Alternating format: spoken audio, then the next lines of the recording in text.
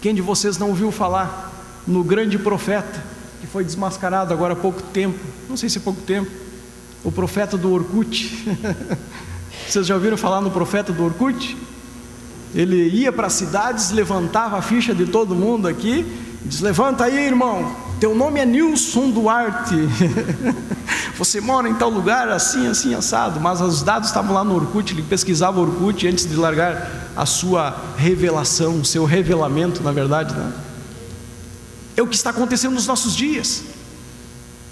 É uma chuva de enganos, sendo que o Evangelho é a simplicidade da cruz, da morte de Cristo. Para concluir, irmãos, se não estivermos atentos e vigilantes, poderemos ser enganados pelos que insolenemente vêm substituindo a palavra de Deus por doutrinas de demônios. E eu te pergunto nessa noite, e essa pergunta eu faço para mim: estamos firmes alicerçados na palavra de Deus? o qualquer um vem e faz a nossa cabeça e nós ficamos atormentados, sendo que a palavra de Deus ela é tão poderosa que se alguém é, vem e, e, fala mal do irmão Adi para mim, a palavra de Deus me diz que não é dessa forma, que alguma coisa está errada, alguma coisa está errada, e o Espírito vivifica essa palavra na minha memória, na minha mente, e em todas as áreas, em todos os fatores. Escuta, a Bíblia diz que no final, muitos, até dos próprios escolhidos, eles poderiam ser enganados, enganados por causa dessa chuva de doutrinas, de heresias, de confusões que está vindo, está assolando a igreja em toda a face da terra. Irmão, quando eu falo sobre apostasia, uma coisa que me vem na minha mente assim imediato, é uma tremenda turbulência, como uma tempestade, mas eu vejo a igreja de joelhos dobrados, diante da palavra de Deus, e as turbulências, os ventos de doutrinas vêm e passam, e quem está focado na palavra de Deus, está em comunhão com o Senhor, buscando uma vida íntegra na presença de Deus, procurando agradar o Senhor, está protegido, está guardado a sua mente em Cristo Jesus. Coloque-se em pé nesse momento, querido.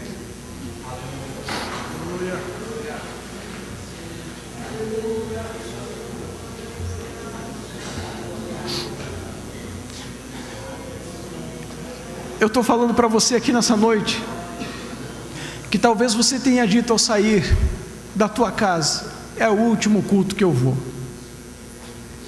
Não quero mais, não é a última reunião que eu vou nessa igreja. Não, não quero mais, eu faço. Eu, eu, tenho me esforçado, eu tenho. Eu tenho feito tantas coisas, mas parece que as coisas não andam, não acontecem na minha vida. Eu, eu não quero mais saber desse evangelho. Eu tenho sofrido tanto com isso.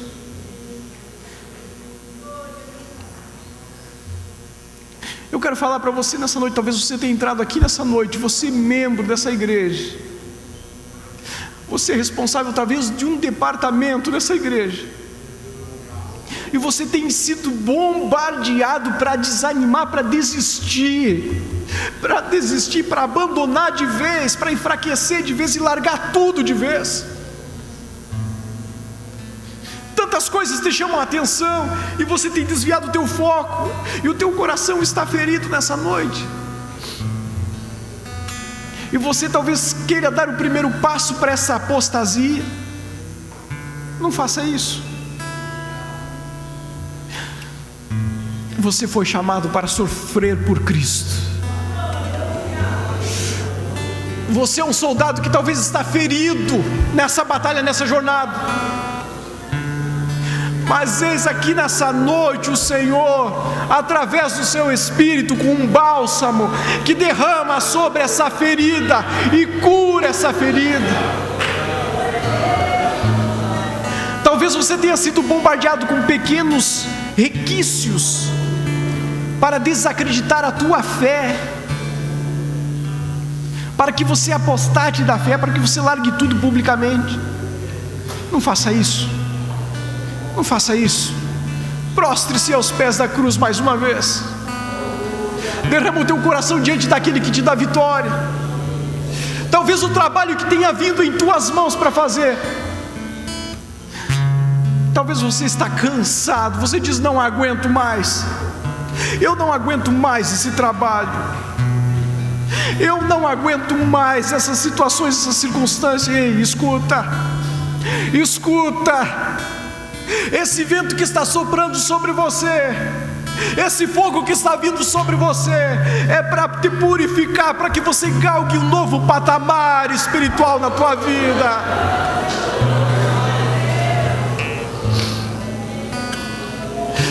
Eu quero orar com alguém aqui especificamente que se sente muito abalado na sua fé. Alguém que está muito triste, que entrou nessa noite por essa porta extremamente triste, com seu coração triste.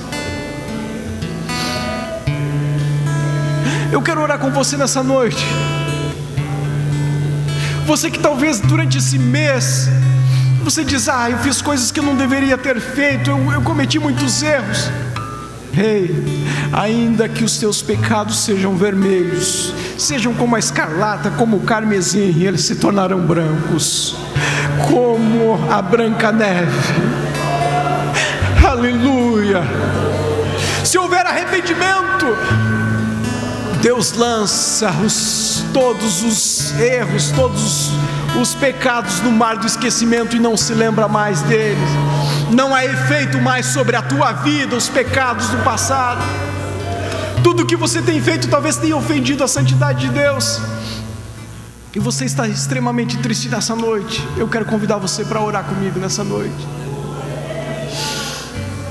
Ou talvez você recebeu da parte de Deus, Deus colocou nas tuas mãos um trabalho para você fazer e você realizar. E você está à beira de murmurar disso. Não faça isso. Não faça isso. Glorifique ao Senhor em todas as circunstâncias da tua vida. Enquanto você glorifica nessa prova, nessa luta, nessa batalha, enquanto você glorifica e diz: O meu redentor vive, o meu redentor vive, e por fim se levantará. Eu sei que esse período é circunstancial na minha vida, eu sei que é uma fase difícil na minha vida, eu sei que é um momento difícil na minha vida, mas glória ao nome do Senhor. Eu sei que é um momento de turbulência, mas exaltado seja o nome do Senhor que vive e reina para todo sempre. Xarabastu e eu quero convidar você que tem uma tremenda você está, parece que se sente preso e você quer vencer esses aguilhões que caem por terra. Eu quero te convidar para orar juntamente comigo nessa noite, aqui na frente. Nós estaremos ministrando juntamente com os, os nossos queridos irmãos obreiros. A família está um caos, está uma luta tremenda. Eu quero convidar você para passar aqui para orar comigo. Há uma perseguição ferrenha contra você lá no teu trabalho, críticas tremendas contra a tua vida, contra a tua fé, para que você se esvaia, para que você esfrie, para que você apostasie da tua fé. Aleluia, aleluia.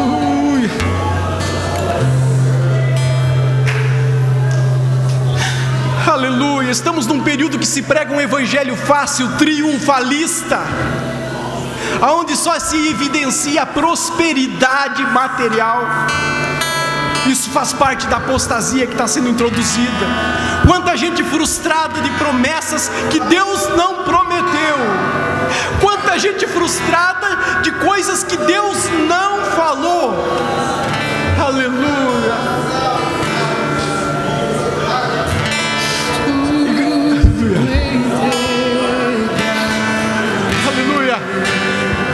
Você que não fala línguas estranhas, já faz mais de um ano, e você entrou aqui nessa noite.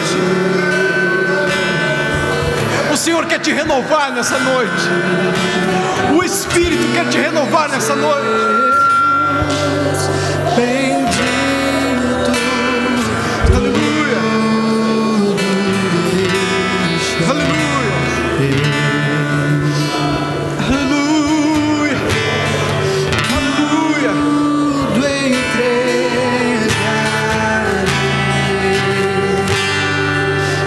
Senhor nessa noite. Tudo entregarei.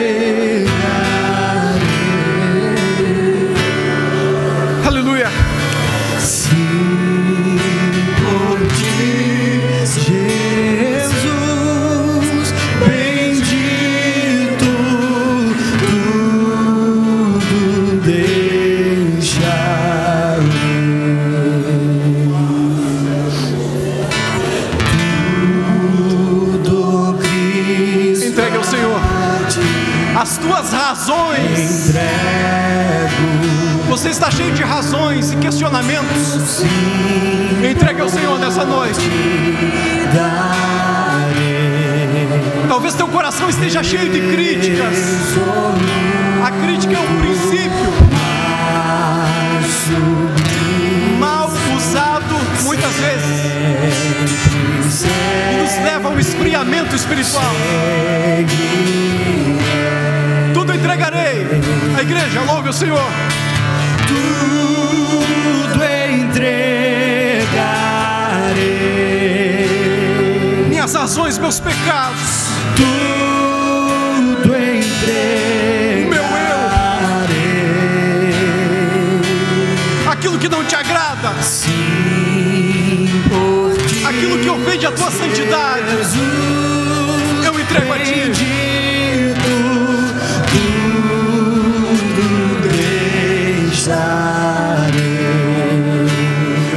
Entregar nessa noite? Venha.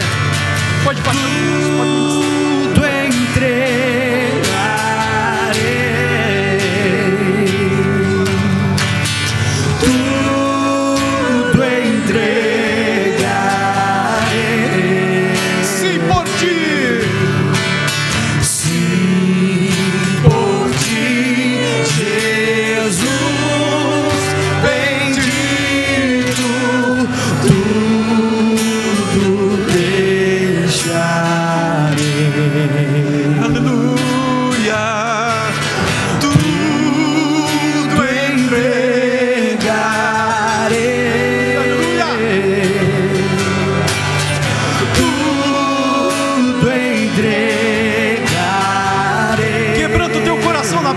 Senhor, amado.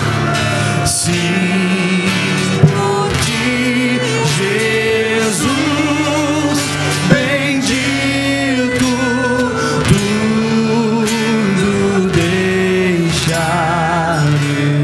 Tudo deixarei. Tudo entregarei. Entrego Senhor as minhas críticas,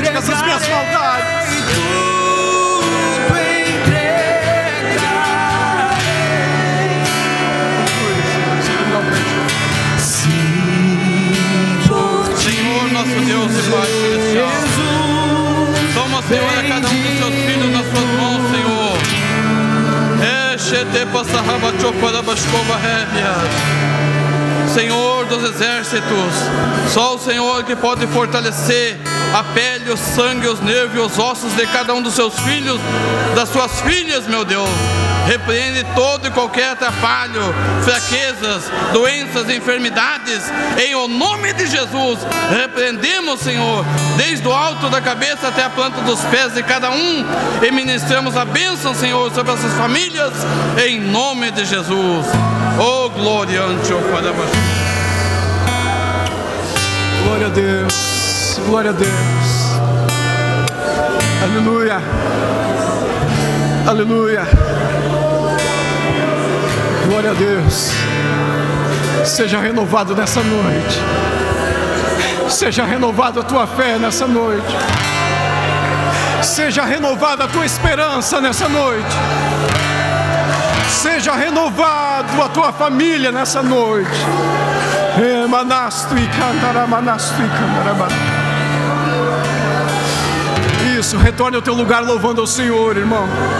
Pode continuar adorando, mas retorne ao teu lugar, aleluia.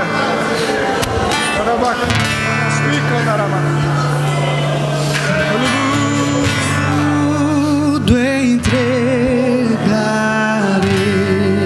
Espírito Santo amado,